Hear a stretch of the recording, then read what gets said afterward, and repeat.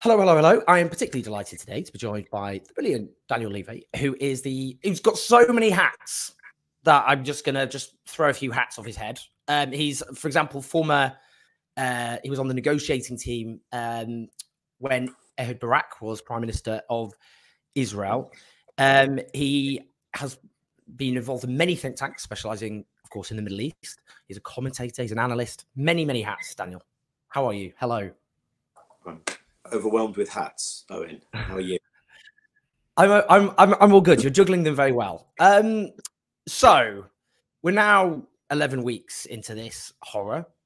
I always struggle to find the exact proper term to describe what this is. I think horror will do for now. I just want to start actually, just because you know you were under Ehud Barak and also a junior member under Yitzhak Rabin, who was obviously prime minister of Israel back in the 1990s before his assassination. Um, and it's just recently we've had these comments by um, Tzipi Hotovely, who's the Israeli ambassador to the UK, in which she said uh, that there would there was no chance of any future Palestinian state. And then Mark Regev, the former ambassador, um, who was a spokesperson, I suppose, for the Israeli government, uh, said uh, that actually they never that under even under Yitzhak Rabin, who was the prime minister, who was associated with the Oslo Accords and being a peacemaker, the Palestinians were promised an entity less than a state.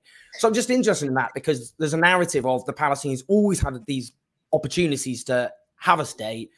They didn't accept them and they brought this on themselves, basically. What do you think about that whole narrative and what, what the comments of Mark Regev and of Tzipi Hotovely? Yeah, I think there's some really important stuff to unpack there. Um, let me relate to what Mark Regev said and Rabin's position. And and we can't know, right? You can't do the counterfactual. He gets assassinated in November of 1995 by a, a, a religious Jewish extremist. Um, I, I actually think most Palestinians who look at the history of this would sign up to what Mark Regev said, unusually, and and say, yeah, that's exactly the point. We have never this idea that that Palestinians have, have consistently missed opportunities, been rejectionist. Well, we've never been offered a sovereign state. Thank you for clarifying that, Mr. Regev. Rabin was perhaps on a journey, and things that he said uh, would be red lines before he came into office in 92, once he was in office, uh, began to shift. I don't know how far he was capable of shifting. I don't know how far that national movement in its current incarnation is capable of shifting at all. So that's that's one piece of this. Tzipi Hotovely, uh, the ambassador of Israel here in the UK, simply reminded us that the guidelines of the current government, and in that respect, it's not really an outlier, are that, that all of the land of Israel belongs only to the Jews and all of it should be settled. And a Palestinian state is totally off the table. Now, that reminder is important because it kind of speaks to the nonsense that is the stuff of Western policy, of the American government, of the UK government. They constantly talk about two states, and yet the more powerful party, the occupying party, the only party that can allow, because this two state stuff is also, I mean, if you believe in that outcome, there is one state already. It's called Israel. So this is really about deoccupation and establishing Palestinian sovereignty. And that requires Israel to go along with it. Israel categorically rejects that outcome. So, what are you going to do about it rather than just mouthing these platitudes? Um, I, I would suggest there's a couple more levels of depth to this that are worth going into, Owen, if, if I can. Um, one of those is that the entire premise of a peace process, which to the outside was designed to achieve a Palestinian state, but apparently that was never pushed sufficiently with Israel because there's never been an Israeli uh, official decision, a governmental vote, a, a, a vote in parliament to uh, adopt two states. That was premised on saying we can resolve the issues that arose out of the war in 1967, okay? Out of the occupation so there's a step one step back. There's a UN partition plan, right? The partition plan gives slightly more to the establishment of a Jewish state. This is after British colonial withdrawal. Uh, slightly less land, about 55 45, uh, a Jewish state versus a Palestinian Arab state, a, a, special status for Jerusalem. So it was called a corpus separatum. Um, that is backed by a UN, which at the time is pre decolonization. So this is a UN which doesn't have the, the, countries that are now in the UN that become independent, that have gone through colonization. Um, it's accepted um, by Israel, but then Israel takes 78% of that land, expels the Palestinian population, Nakba. That's why most of the Palestinians in Gaza still today are living in refugee camps, not being able to return. The peace process is basically saying we're going to skip over that and we're going to address what happened in 67 where Israel took control of the other 22%, West Bank, Gaza, East Jerusalem. Now, I think where, where, what we've kind of come to is given that Israel was unwilling actually to do a Palestinian state on 22% of the land, the attempt to brush under the carpet the, the issues from 48, those other historical issues, I think are back, are back to the fore. So you haven't managed simply to, to resolve what theoretically could have been the easy stuff. The, the last thing I'd say on this is if indeed, if indeed you reject a Palestinian state on 22% of the land, which Israeli officials have helpfully clarified to us that they do, what are you offering? Are you actually the, the, the Smotrich Ben Gvir camp? We have everything, we get rid of them. Are you acknowledging that what you have in mind is the apartheid system, which has been the legal designation, not only of Palestinians, Israeli NGOs, international NGOs. So, what is it you're actually suggesting? Before I ask you just a bit more about that, because I think that's crucial, really, in terms of understanding what happens next. Um, I'm, I'm, interested in just the, the question about the relationship between Benjamin Netanyahu and Hamas, because there's been a lot, for example, in Haaretz, the Israeli newspaper, about the essentially suggesting that it obviously served um, the purposes of the Likud, the ruling party, and others associated, with, I suppose, with, with that project, uh, to divide the Palestinians between the West Bank and Gaza, um, to make sure then they couldn't have a so-called partner for peace, which they could claim as legitimate, and that essentially Hamas was propped up to a degree by Benjamin Netanyahu. What do you, what do you think about that? So as with many things, there's an element of truth to it, and there's an element of convenience to a narrative that I think sometimes, especially in Israel, um, everything gets attributed to Netanyahu. And and, and yeah. if if if this problematic chap at the top were removed, we could all move on. Because I say that because yes, it's true. Of course. And why should we be surprised that Israel has pursued a policy of divide and rule with the Palestinians. I mean, it's it's classic strategy. It's classic settler colonial strategy. What's what's to be surprised about here?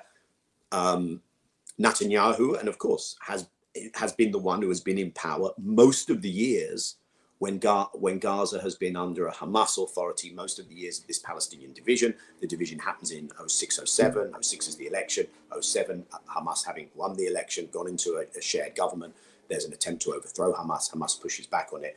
Um, I mean, in a, in, in a way, they, they're, they're, they're kind of accidental rulers of Gaza by, by dint of having pushed back against an attempted putsch.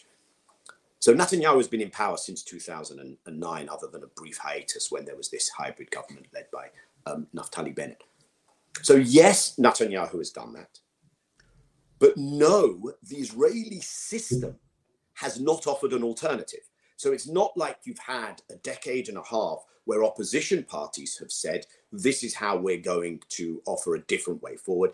And the other crucial thing to bear in mind is the Palestinian division and the debilitating impact that has on any potential Palestinian strategy to, to assert their rights, that division is first and foremost something for the Palestinians to deal with. So just because Israel pursued this, it doesn't mean that the Palestinian leadership was bereft of any way of going about challenging it. They chose, the Palestinian Authority in the West Bank, unfortunately, and I think to their discredit, and it's why they're so unpopular today, amongst other things, they chose to go along with this Israeli US Western backed project of division. They could have gone, and there were often talks and there were even agreements, and they were never honored. And of course, Hamas also had its positions that it was pushing. But I think primarily here, it's been a Palestinian leadership failure, which its own most of its own people acknowledge and are ill served by, to reunite, to, to, to have a, a renewed national movement that can set forward the Palestinian position and the challenge to the circumstances under which they live in, in, terms of what's what's happening, what's going to happen next, and I mean that, the point actually when Tzipi Hotovely was asked by a Sky News correspondent um, that point about will there be a Palestinian state, and she said absolutely not. A lot of people frustrated that he wasn't then pushed to go. What does that mean then in practice?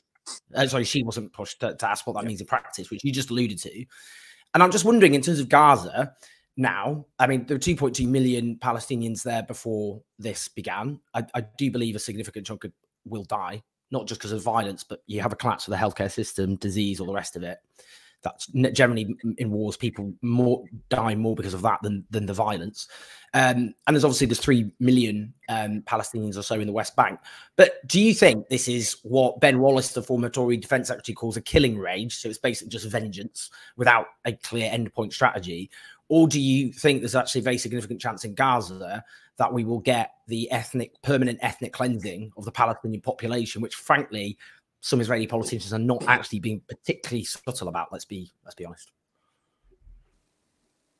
You you, you have that way of British understatement, Owen. Um, yes, sorry. So cheerful.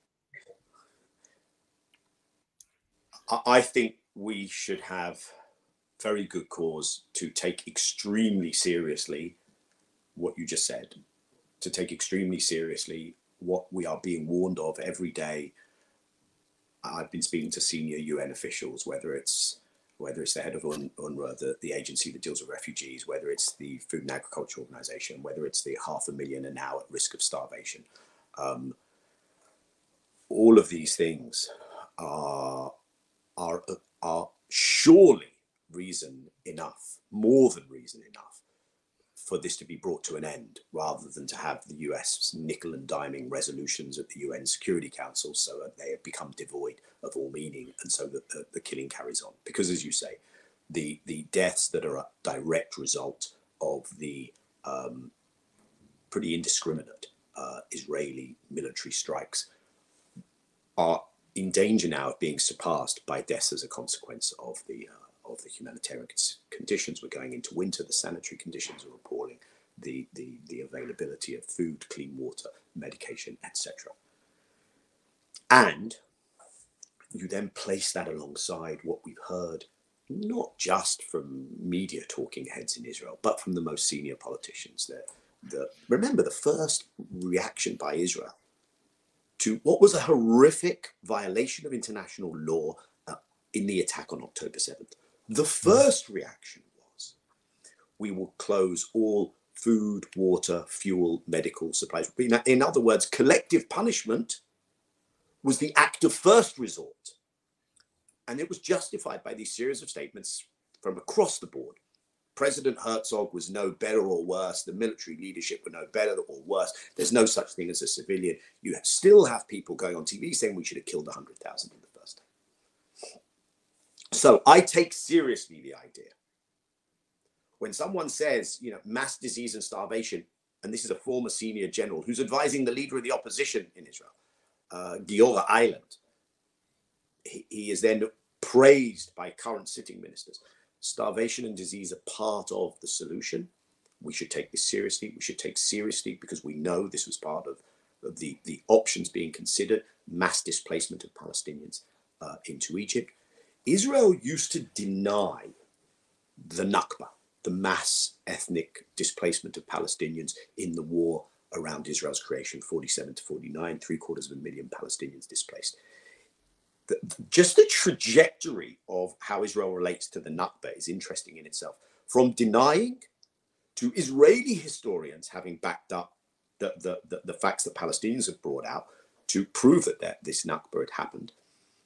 Now to threatening a second Nakba, which is what mm. it's proliferated as a, as a kind of speech. So it's it's important also to acknowledge that this this this intentionality, this strain of thinking applies not just to Gaza.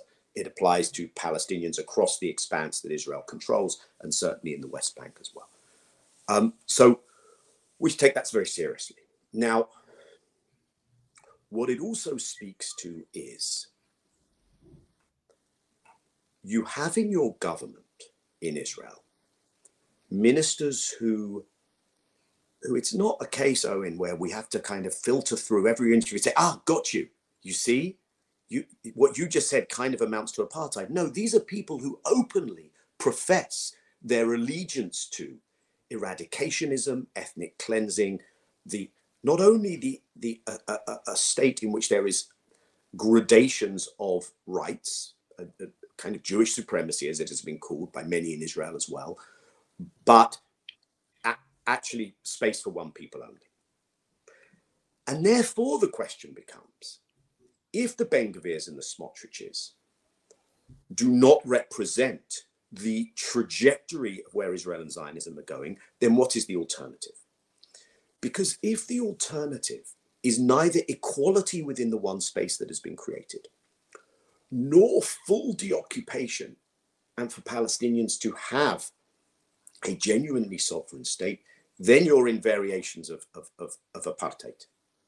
So I think it's it's crucial that going forward, we actually hear an Israeli alternative to Ben Gvir and Smotrich that isn't, no, we're not extreme. We're not going to expel them.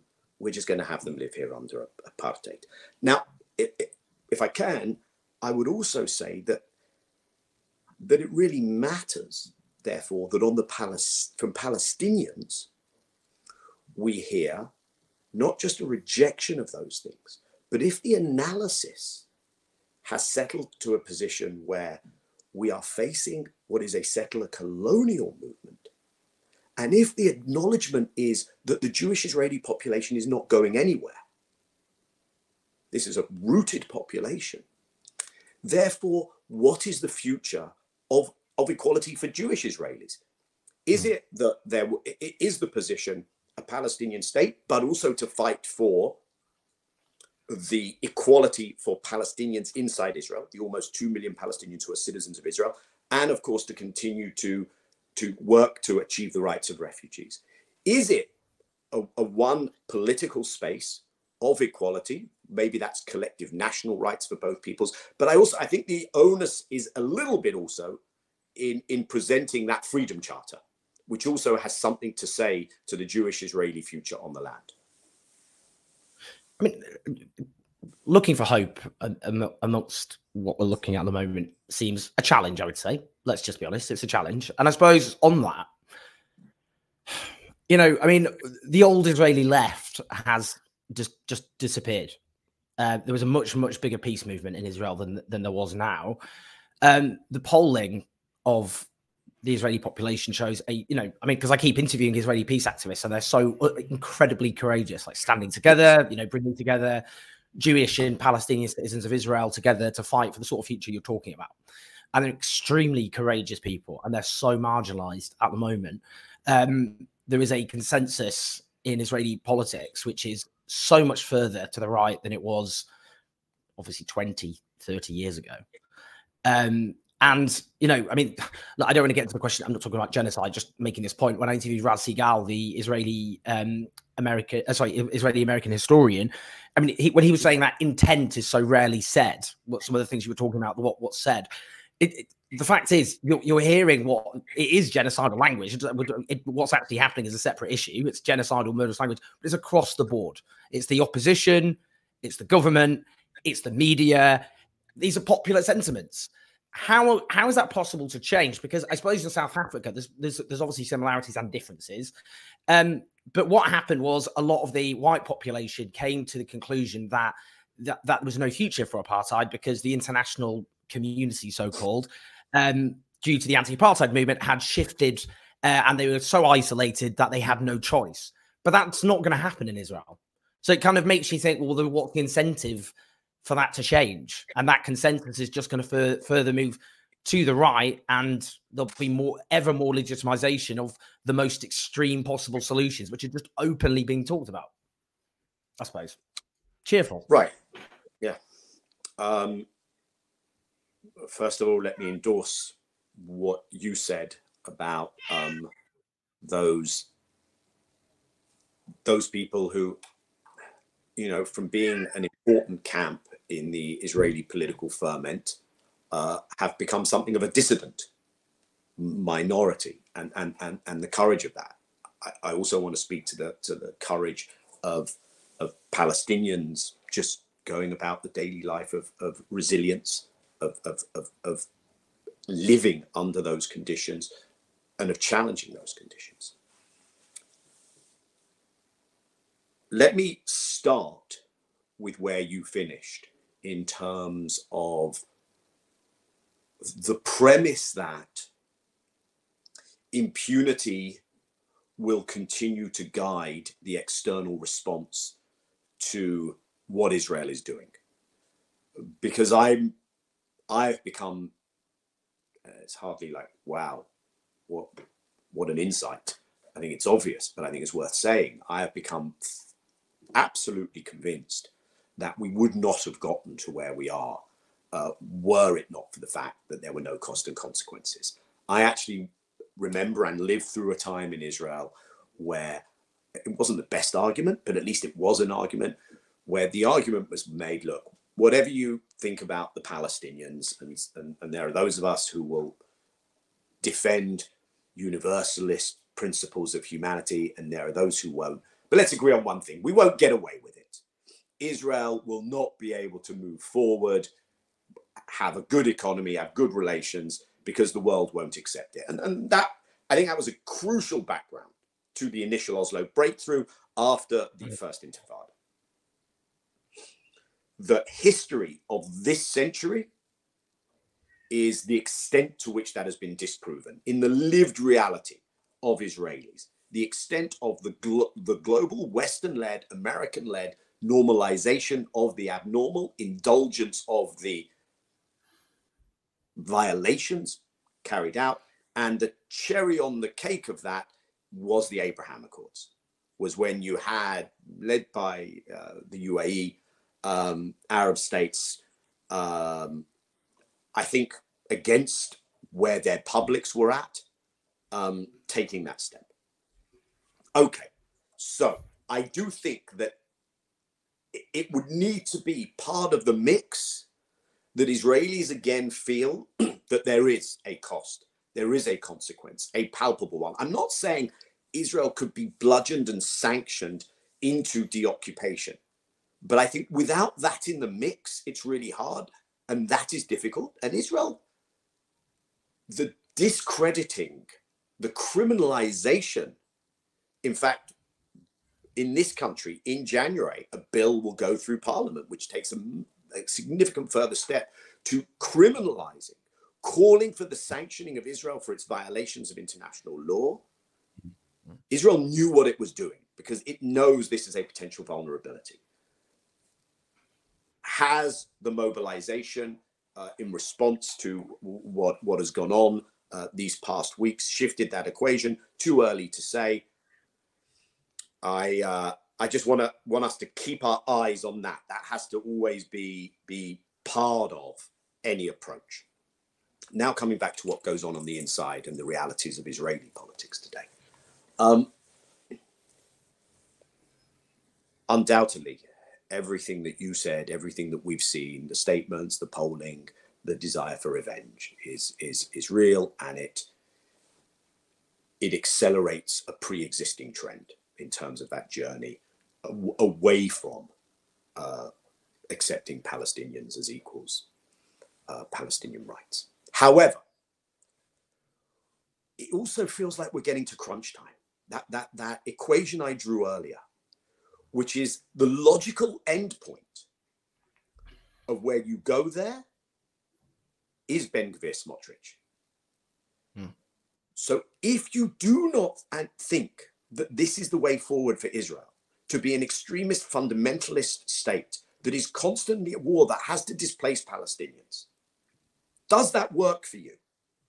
Is the complicity, the culpability of the front line surrounding hinterland Arab region going to continue? Can you rely on that? You see, I don't think that's a recipe uh, for Israel's well being either.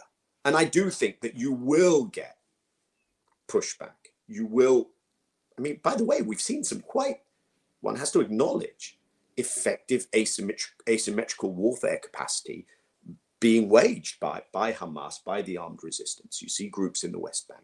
You see the, the disquiet uh, in the surrounding region. Um, I don't think that works out for Israel. I think by, by dint of Israel's very integration into the world, its wealth, it has vulnerabilities. So the thing that I'm clinging on to is the following that a combination of eventually being able to generate some of this outside pressure, one, a shift in Palestinian leadership in terms of its message, in terms of the capacity to articulate that message. The amazing Palestinian voices we hear, unfortunately, do not speak for the leadership. The ambassador here in the UK is an exception in that respect. A very effective voice who also is part of the structure. Hmm. But if we can get that unified Palestinian, renewed political capacity, strategy, ability to articulate that, number two, if we see the geopolitics shifting, because the difference today is that America can still use its bloody veto at the United Nations Security oh. Council, but this is not a unipolar world. The geopolitics is shifting. Bring in other actors. Three. And this moment of truth for Israeli society that the alternative to the Ben Gvir Smotrich can't be a watered down version of apartheid. So who are you? So I've listed four things, really hard to choreograph and bring those things together. But that's where I think that, that after something so disruptive, when you're staring into the abyss, things can actually uh, move in, in unexpected and quite accelerated ways. And I should pause there because I, uh, otherwise it will be like I've been drinking pre Christmas and I'm being excessively optimistic. No, I mean just finally on that because you've got to go to a, a, a vigil, um, and also my cat is is trying to intrude on our conversation. Bless him. Um, that's Rickman. Um, just just finally, I mean, I suppose the bleak, which I don't think a lot of people are actually discussing properly at the moment, which is it's interesting. We've got at the moment, um, Joe Biden is facing a severe backlash at home, partly actually because younger voters are the most pro-Palestinian um, in in in American generation American history. Um, but what that actually means is a lot of them may not actually come out and vote for Joe Biden uh, come the election, and Donald Trump may become president. And that's not that far away. The American election is now 11 months away, less than 11 months, 10 and a half months away. And if Donald Trump becomes president of the United States, what the hell happens then? And I think just fine because that's such a bleak thing to end on. If there's any hopeful thing you can think of at the end, just to just segue uh, to the end, uh, so people aren't terminally depressed. That would be helpful. But yeah, the specter of Trump, what the hell would that mean in practice?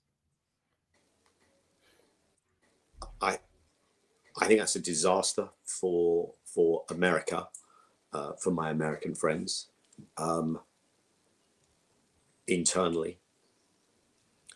For Palestine and in Israel. Uh, well, for every, well, here's where I'm gonna.